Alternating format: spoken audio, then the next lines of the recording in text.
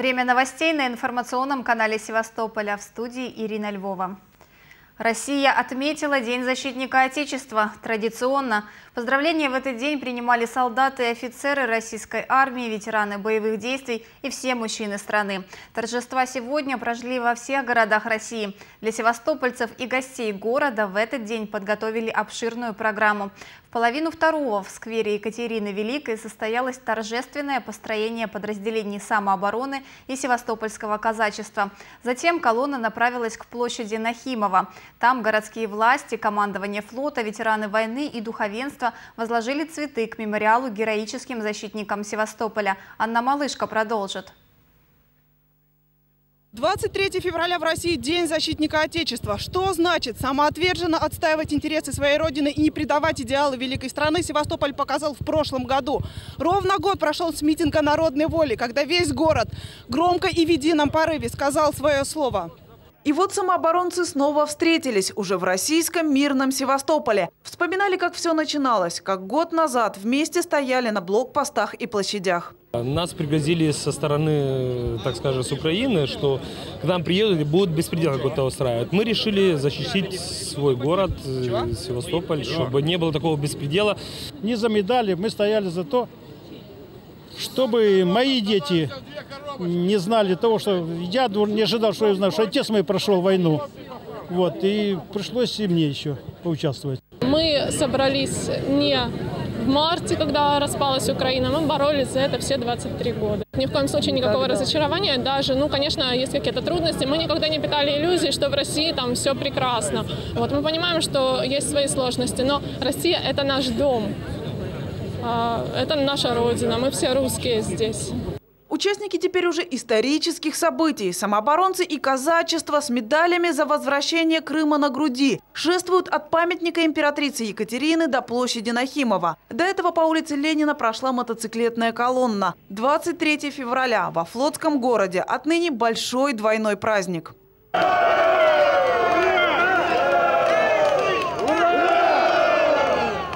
Участники шествия присоединяются к руководству города и возлагают цветы к мемориалу героическим защитникам обороны Севастополя 41-42 годов. С этой минуты до Дня Великой Победы советского народа над фашистской Германией остается ровно 75 дней. На главном экране города начинается обратный отчет времени. Часы ежедневно будут приближать горожан к 70-летию Победы. А тем временем на сцену поднимаются участники прошлогоднего митинга. На площади, как и ровно год назад, тысячи горожан. Губернатор Сергей Меняйло, вице-адмирал в запасе, по случаю праздника в военной форме благодарит Севастополь за мужество. Вообще 23 февраля в Севастополе всегда праздновали.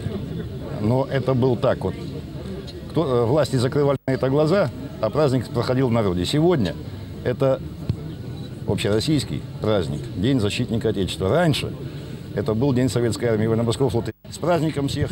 А для Севастополя 23 февраля,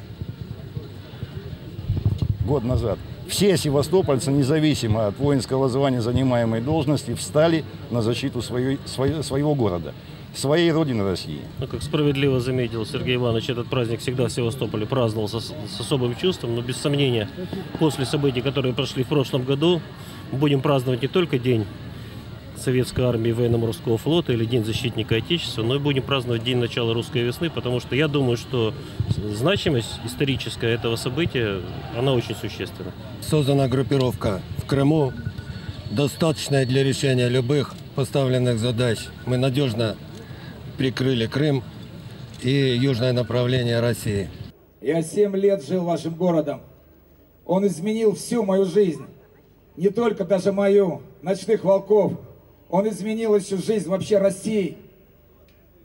Знаете, Севастополю предстояло выполнить особую миссию.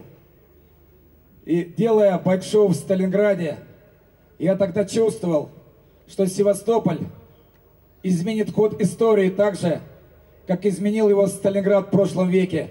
Я хочу вам сказать спасибо, Севастополь. Спасибо за то, что вы научили Россию любить Родину. Анна Малышка, Виталий Козловский. Информационный канал Севастополя. В День защитника Отечества боевые корабли Черноморского флота были открыты для посетителей. Посмотреть на них изнутри мог каждый. Из желающих попасть на экскурсию получилась длинная очередь. Сюда пришли не только севастопольцы, но и жители многих других городов Крыма. О задачах боевых кораблей люди узнавали из первых уст. Экскурсию проводили члены экипажа. Ракетный катер «Морской тральщик», три противолодочных корабля. Пять боевых единиц. Такая техника сегодня была в центре внимания не только севастопольцев, но и гостей города. Ради такого зрелища съехались жители всего Крыма. Мы с Евпатории приехали с детьми первый раз на таком да, корабле, специально ехали, чтобы вот это все посмотреть. Мы крымчане, мы здесь родились, но и для нас вот это настолько все дух захватывает от этого всего. Впечатление очень радостное, горд за нашу страну. Я служил э, в наземных войсках э, э, на аэродроме, короче говоря, с военно-морской техникой не знаком. То, что я сейчас увидел, впечатлило. Экскурсии провели члены экипажей и рассказали об арсенале боевых единиц. К примеру, большой десантный корабль «Цезарь Кунников» только после ремонта. Поэтому все механизмы полностью исправны и, по словам команды, машина обрела вторую жизнь. На ее борту установили мощный ракетный комплекс с дальностью боя в 20 километров. Сейчас здесь служит 99 человек. На палубе такого корабля можно и заблудиться, говорят люди. Корабль очень интересный, я впервые на этом корабле. Да, Никита, тебе понравилось? Угу. Вот. Э, ну, как впечатление очень положительное. Э, Никита у нас мечтает моряком быть, мы его в Нахимку хотим отдать нашу. Вот. Он очень неплохо смотрится в форме военно-морской. Есть ну, пару фотографий семейных. Тем временем на площади Нахимова проходит выставка боевых машин, где дети не только смотрят на КАМАЗы и БТРы, но и лазают по ним. А родители, пользуясь случаем, фотографируют. Я на танке. А что тебе здесь понравилось?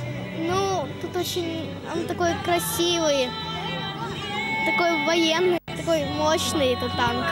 Мне вообще понравилось, что меня вообще разрешили на этот танк залезть.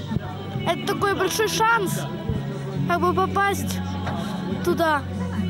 Ну, вообще, техника хорошая, крепкая. Праздник в разгаре, и пока дети заняты делом, мамочки не упускают возможности поздравить мужчин с Днем защитника Отечества.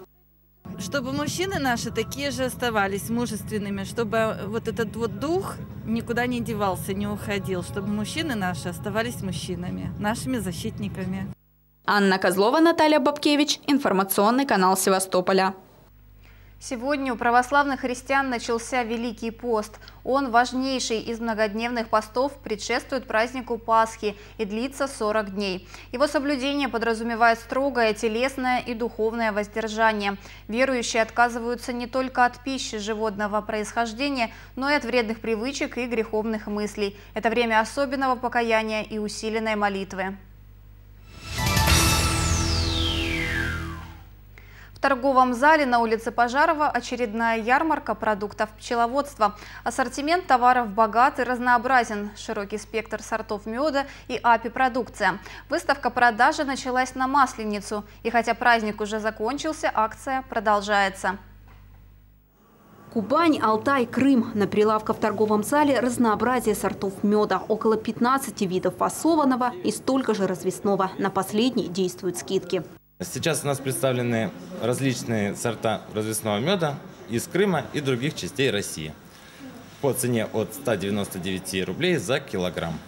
Масленицу с медом и блинами Зинаида Никифоровна пришла за угощением для родных. Делится. Балует родственников не только по праздникам. Сюда за продуктами пчеловодства приходит уже не первый год. Не пропускает ни одной акции. Участвует в розыгрышах и весьма успешно. Уходила с подарками. Сегодня с медом блинов напеку и с медом все. Я и разнотравье брала. И вот э, сейчас я взяла каза, э, этот, э, гречичный. Он пахнет очень. Это, липовый брала, очень хороший. Душистый, хороший мед. Нравится. Ни дня без меда. Просковья Дмитриевна сама когда-то была пчеловодом. 15 лет посвятила нелегкому делу. Толк в этом знает. В качестве того, что покупает, тоже. Хочу сказать в отношении меда – что он без особых примесей. Его можно покупать и на здоровье кушать. Мед, мед я ем постоянно, не только в масленицу. Но ну, это очень полезно и, в общем-то, очень даже вдохновляет. Наряду с ярмаркой меда в торговом зале работает пчелиная аптека. Медовые смеси, бальзамы, сиропы для укрепления иммунной, эндокринной систем, лечения заболеваний и профилактики организма. Это природная продукция. Она, э, у нее нет побочных э, явлений, она не приносит вред, она приносит только пользу. Нет. Если, конечно, э, у человека есть аллергия на мед, Э, это бывает крайне редко, э, тогда может, а так, в принципе, нет. Если острые заболевания, то все-таки нужно обращаться в больницу. Но если хроническое заболевание или терпимое, то травы и особенно апипродукты – это замечательно. Медовая ярмарка по адресу Пожарова, 21. Остановка Галины Петровой продлится по 26 февраля включительно. Торговый зал казацкого меда работает с 9 часов утра и до 5 часов вечера. Ольга Деменчук, Наталья Попкевич. Информационный канал Севастополя. На этом у меня пока все. Я с вами не прощаюсь. Увидимся менее чем через час.